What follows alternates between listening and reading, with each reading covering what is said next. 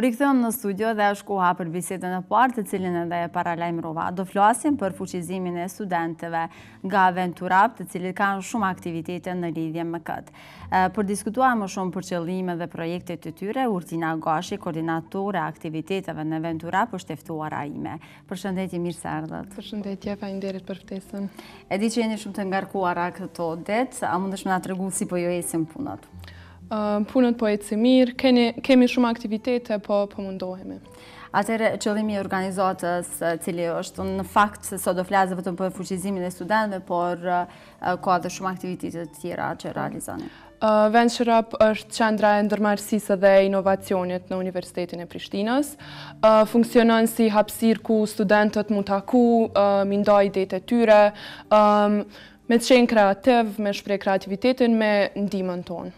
Atëherë, kanë përfunduar dhe disa prej punëtorive Dhe si kanë shkuar, cila ka qenë tema e diskutimit? Po, i kemi pasur disa punëtori në kuadër të projektit për për mësim me përvojë, experiential learning, kanë qenë pra disa trajnime të përgatitura specifikisht për aftësitë që studentët kanë vështirësi të marrim shembull aftësitë e buta për prezantim, për mendim kritik e të tilla, kanë shku mirë, ka pas shumë interesim prej studentave, kanë qenë të gatshëm me marrë iniciativa, me shpreh ide të ndryshme. Tashti po i mbajmë punëtoritë në kuadër të projektit Women Up, për fuqizimin e vajzave të Universitetit të Prishtinës. Deri tash i kemi mbajtur dy prej këtyre punëtorive, me temë për barazi gjinore dhe fuqizim të grave, kanë shku shumë mirë, vajzat po shprehin ide, taman ide specifike që po dojnë me i zhvillu në universitet. Cilat po janë ato ndoshta idetë e tyre që dëshirojnë t'i realizojnë në zhvillimin profesional? në zhvillimin profesional, po për shembull kanë mendu me bo një kuti në Universitetin e Prishtinës, kuti me idetë e nxënësve, m'i fut në atë kuti edhe pastaj m'i shpalos ato në klubin e vajzave, qëllimi i cili është të krijohet ky klub pas gjitha aktiviteteve, edhe pastaj me pa çfarë aktivitete mujna me ndërmarrë, qysh mujna me shpërnda këto ide në gjithë kampusin, edhe pra çka muj me bo për... me mbri deri te këto ide. Atëherë, a mendon që do të shpalosen ndonjëherë ato kutia, apo do të jeni ju ata të cilët do t'i shpalosni bashkë me pjesëmarrësit, se kur jemi te kutia e ankesave, pothuajse që ato nuk mirren parasysh, nuk hapen asnjëherë.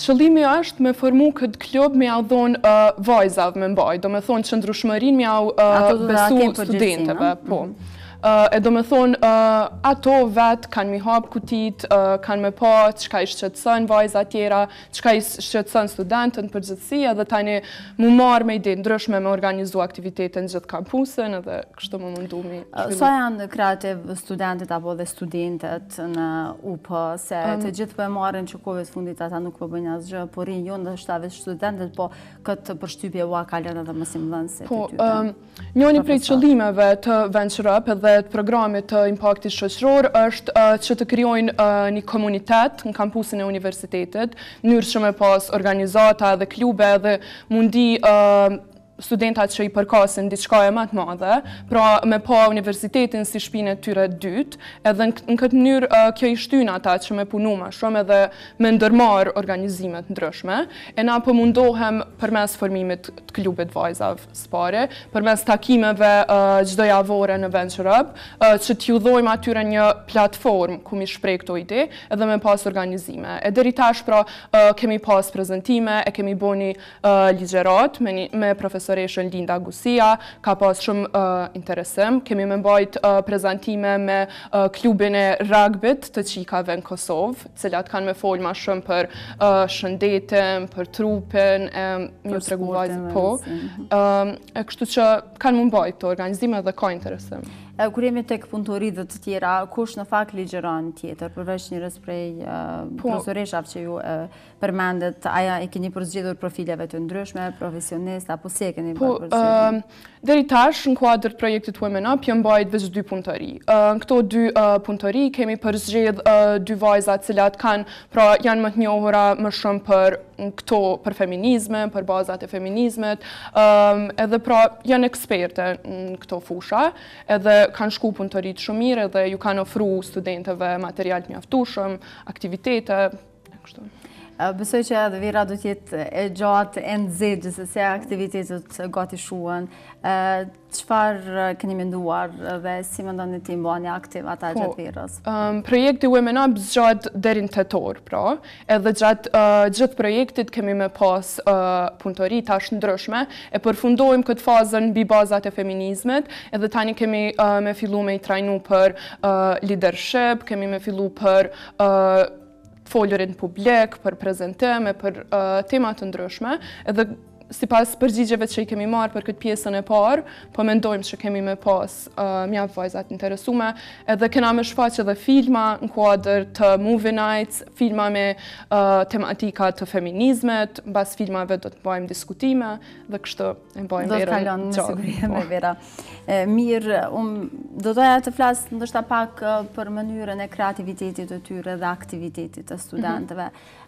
Sa jeni të knaqur deri tani nga aktivitetet që kemi pasë? Um, jemi shumë të knaqur. Uh, ma s'pari, kur e kemi hapur aplikimin për punëtoritë për uh, Women Up, i kemi marrë uh, deri në 700 përgjigje, vetëm nga vajzat e universitetit. Domethënë është mëse mjaftueshëm edhe pra ka pas ide të ndryshme, ka vajza për shembull që kanë mendu me formu klubin e shahut, se shumë shpesh vajzat nuk shihen si të mira në shah ose të mira në strategji, vetëm djemt fokusohen ma shumë e klubin e futbollit që t'i organizojmë edhe vajzat t'lujnë futboll.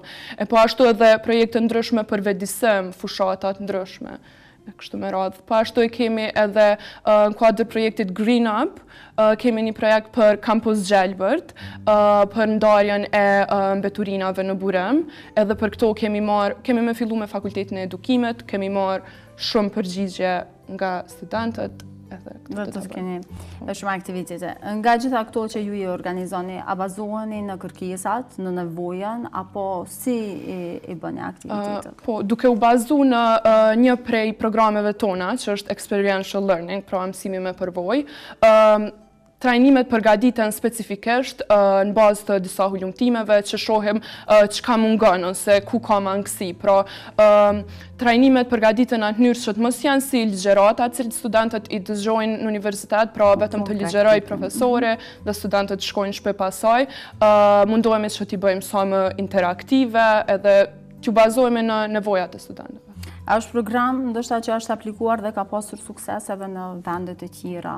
Po, sigurisht punëtoritë tashti kanë fillu të bëhen shumë të përdorura edhe në Kosovë për këtë arsye që ka pasur shumë sukses edhe punojnë gjithë s'bashku, pra punojnë për shembull trajneri i kërkon ide, i kërkon t'i prezantojnë ato, Kërkon qysh kish pas dikush supozime, me i ndryshu, apo komente, kështu pra punojnë gjithë s'bashku, nuk është vetëm profesori. Po, jemi krejt në fund të bisedës, e treguat për verën çfarë do të ketë, por a i bje kjo që vetëm duhet t'i aktivizojmë dhe t'u ofrojmë mundësi studentëve, se ata janë mjaft të mirë? Po, kjo është qëllimi. Na mundohemi me ua dhonë hapsirën, ku ata vetë m'u angazhu, pra nuk jemi ne që e bëjmë, janë studentët, ata që Me ndihmën tonë e marrin hapësirën ku me zhvillu aktivitetet dhe idetë e tyre. A keni numrin e limituar që mund të jenë pjesë apo bëni ndonjë përzgjedhje apo si e bëni? E bëjmë Women Up do ka për synim t'i trajnojë 240 vajza, domethënë është 20 vajza për punëtori, po